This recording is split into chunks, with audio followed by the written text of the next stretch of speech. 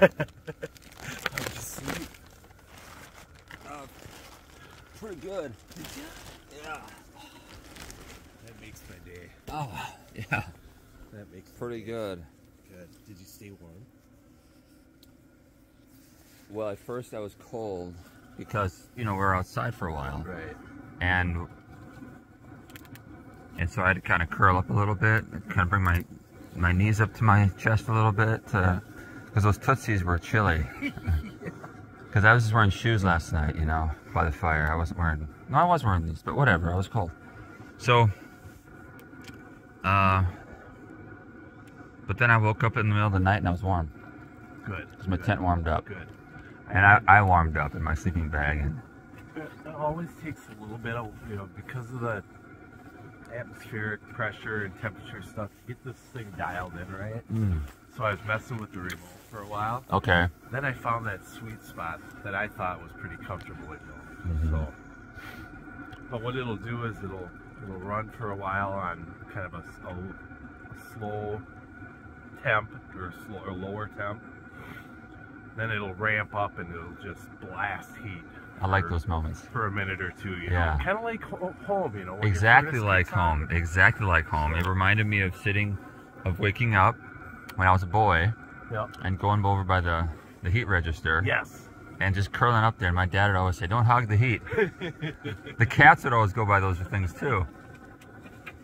And then I, I even the the time before this it pumped on because it's pumped on right now I think and it's blowing some air out or at least it was a second ago. Um, the time before this, I just shoved it right in my sleeping bag. Oh, you did? Maybe it's not coming out a lot now. No, it's it's coming out. But when it was because it blows out you know in stages like you said Right. last time it was blowing out i just took it right uh, right down my chest right into my sleeping bag oh yeah it it it, it warmed uh like you you can get chilled to the bone and you can get warm to the bone Right. We only went through one third of a tank of fuel. so it's good for three nights Yeah. I mean, in these temps, when it's colder out, I'd be filling it at about 8 a.m. oh And you don't want these to run out of fuel because they uh, have to go through a whole priming mm, thing. And it's kind of a pain mm. Anywho, let's get some coffee on.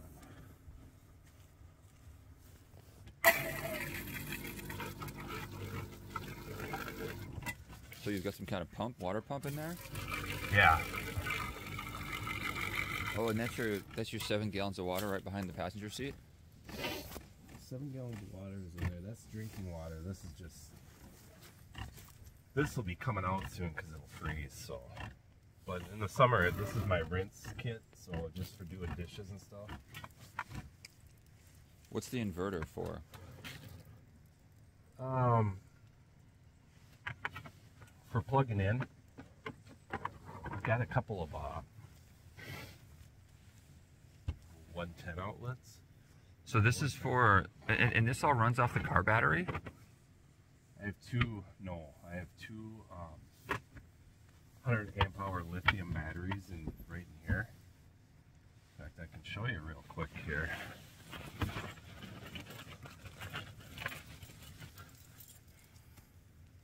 Sorry we woke you.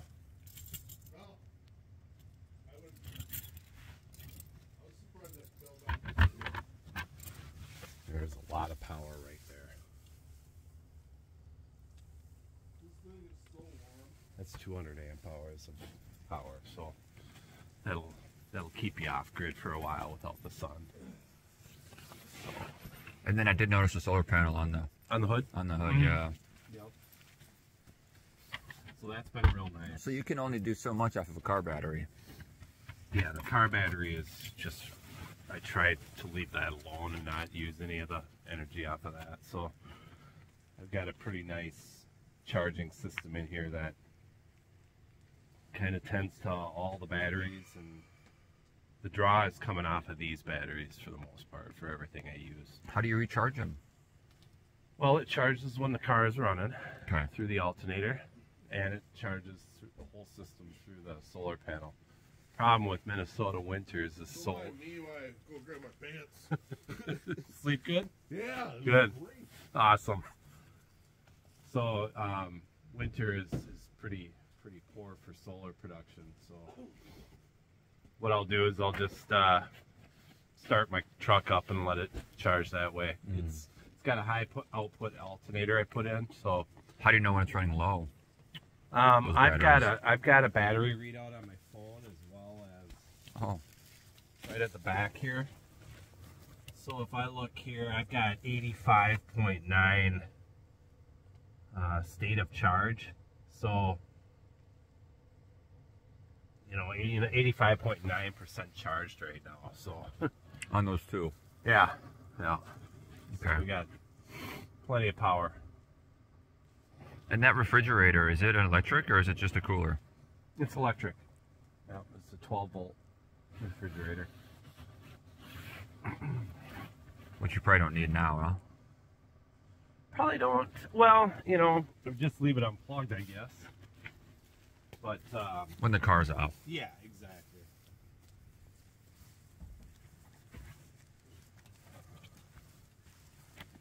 Oh man.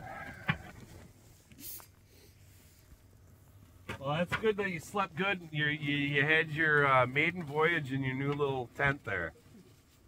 Good. Are you a side sleeper?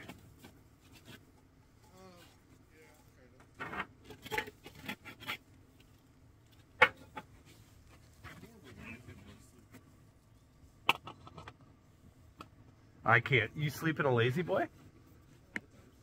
Well, then you're a back sleeper. Yeah, but I'll, I'll crawl sideways too. Oh, okay. So I go full. So I need to get some water, Brandon.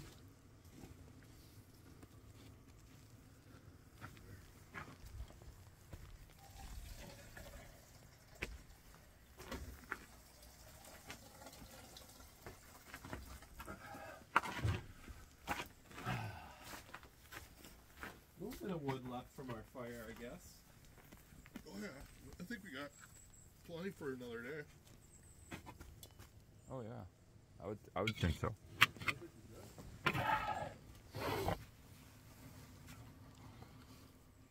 Plus some wood laying around. We got plenty. Plenty of wood. This is a kit designed to be on top of this. Yeah. Yeah, this is more of a backpacker's type mm-hmm. stove. And then you'll press the coffee through this. Yes. Got my Kirkland here from Costco. Mm-hmm.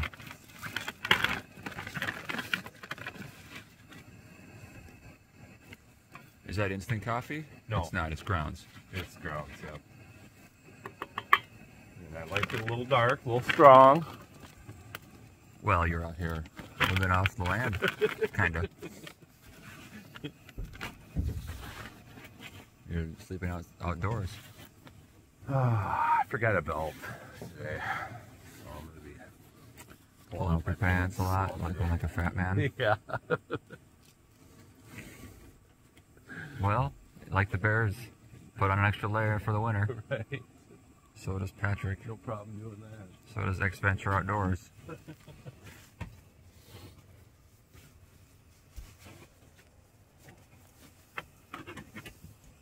We won't have with, Sure. But this is just such a good. Yeah, just look at the delicate um, snowflakes falling. Such a setting, isn't it? It kind of tells me how cold it is. Without a thermometer. Without having to look at your phone. Yeah. It's tranquil out here. Yeah, it gives you that space to, I think, allow myself to realize that eternal. Right. Yeah. And out here, you're kind of forced to be alone with your feelings, to sit with them, you know. Well, now the flakes are starting to slow down a little bit. How high my flame is.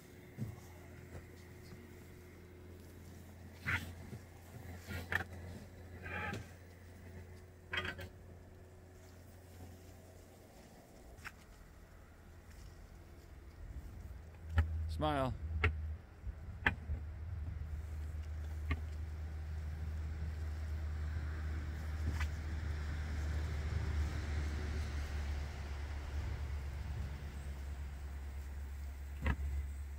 Now you're on a cooking show.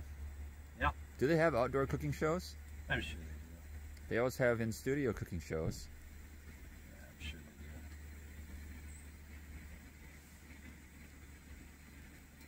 So you're gonna heat up the syrup? Yes. Yes, indeed. All right, so let's get a flipper.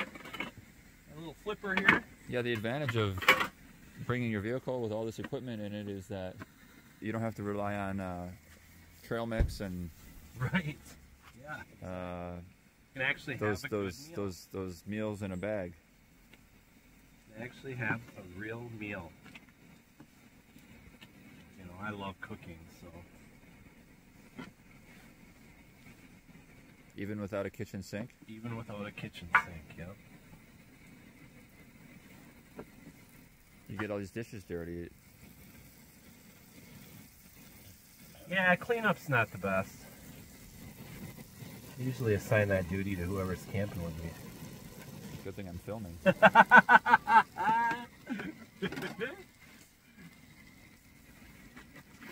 Alright.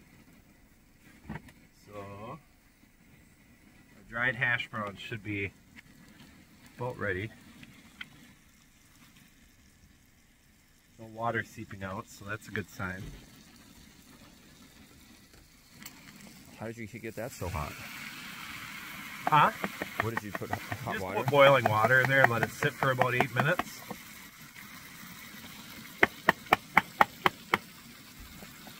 This can go on the fire. I, I see that you made it. I wish I would have caught the shot live, but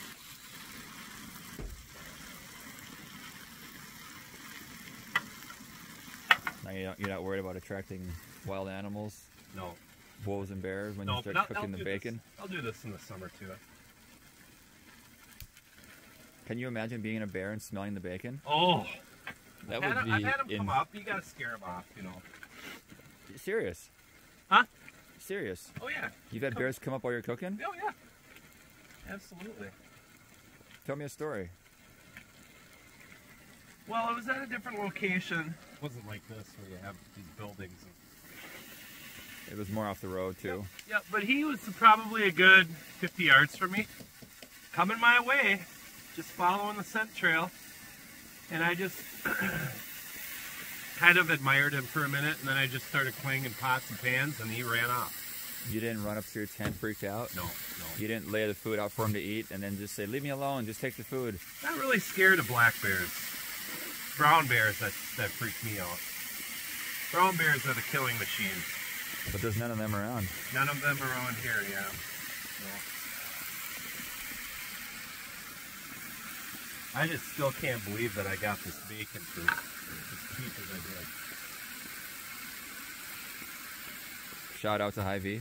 Yep.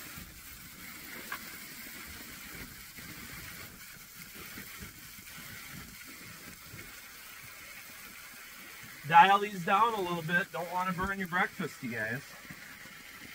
I'm just amazed at how you get everything connected.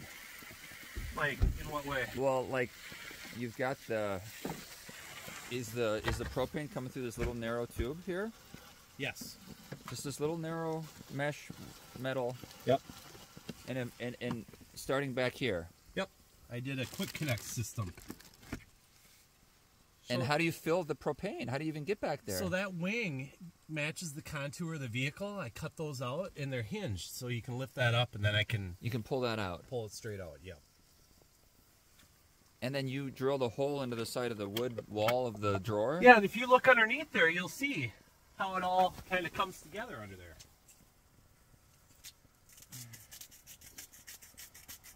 Because we all love salt. Wow. Salt is the number one flavor enhancer in America. Right? The American Salt Council thanks you. so let's not. Pepper comes in in a close second.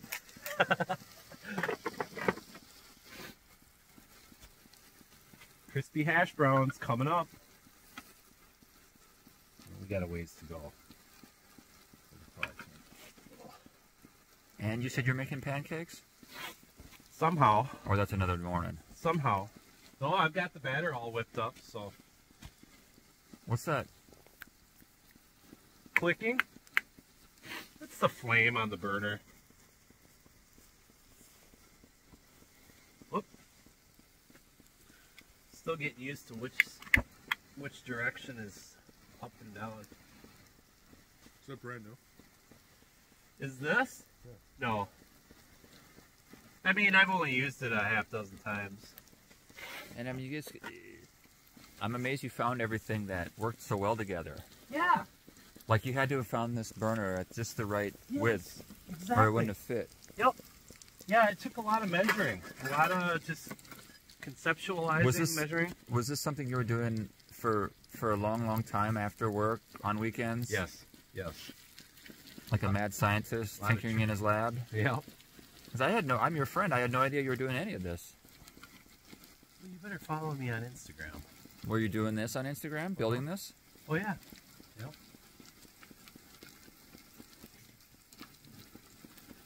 So people would comment saying, "Hey, thanks. I, that, thanks for the tip. Now I can do that."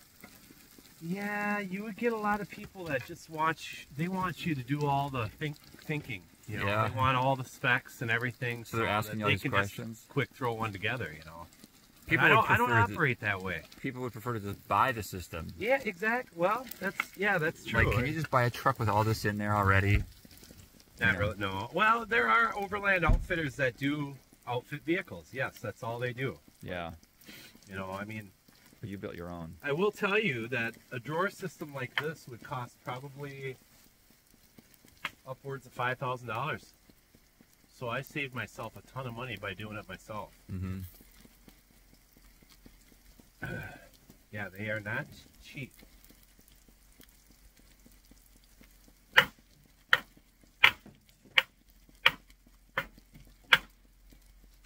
And of course, it's all for naught if the vehicle isn't in good shape.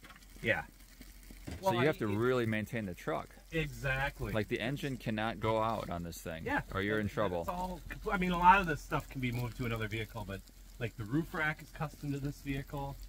That is custom to this drawer system is custom to this vehicle. The bumpers. So really, I mean, when this thing croaks, I'll be stripping parts off and selling them.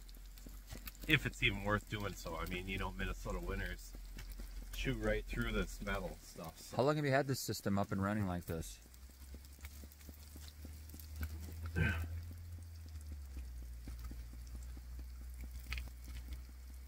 This, I think, was completed close to spring this year.